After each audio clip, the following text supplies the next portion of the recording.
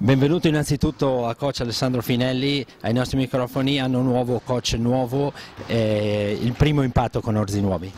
Ma intanto grazie eh, per il benvenuto, Guarda, la, la prima, il mio primo pensiero eh, è successo tutto molto in fretta, il mio primo pensiero va a,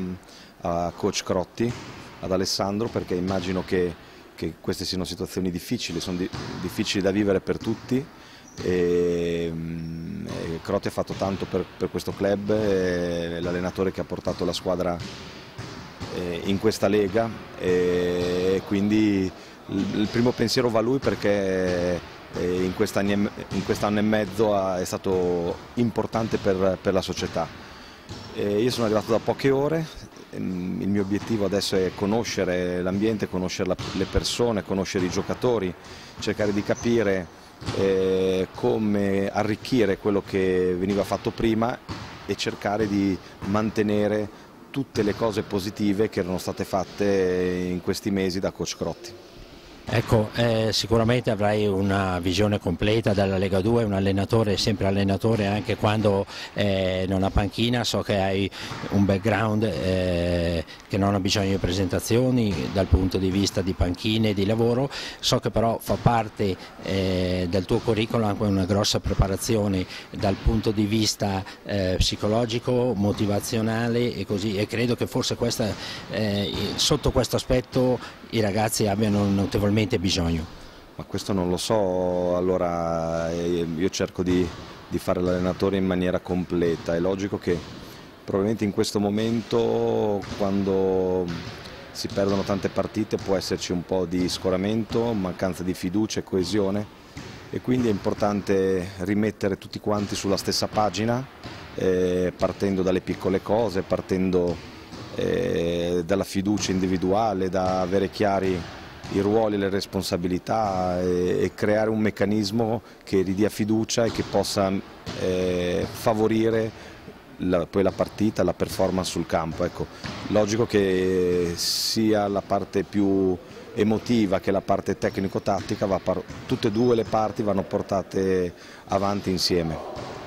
Io credo che noi abbiamo pagato anche questo impatto, però le statistiche che sono cose che per la pallacanestro non vanno mai dimenticate, parlano di un Orzinuovi che è tra i migliori attacchi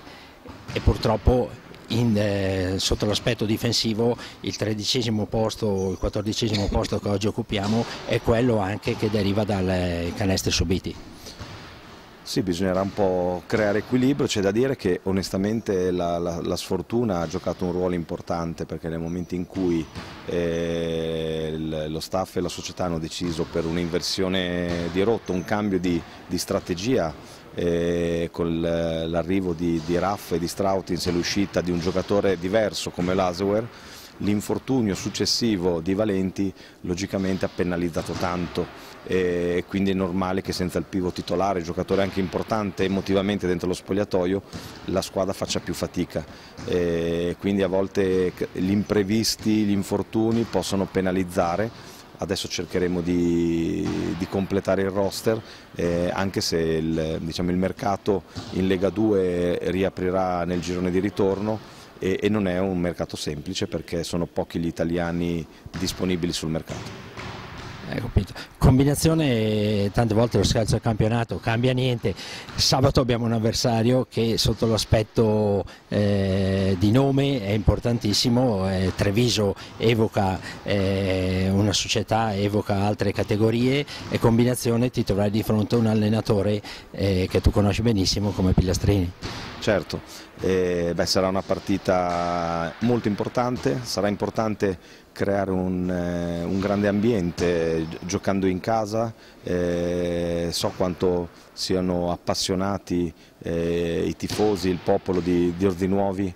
che segue la squadra da tanto, c'è una, una grandissima passione per la pallacanestro quindi sarà importante che noi per primi diamo un segnale a livello di energia, a livello di voglia di combattere come dei guerrieri e, e che al tempo stesso ci sia una, un bel ambiente perché in questo momento probabilmente i ragazzi hanno bisogno di, di, di sostegno, di supporto eh, per fare tutti quanti un passo in avanti e battere Treviso. Il miracolo non fa nessuno, noi possiamo solo che augurarti un grande e buon lavoro. Grazie. Grazie, Grazie coach.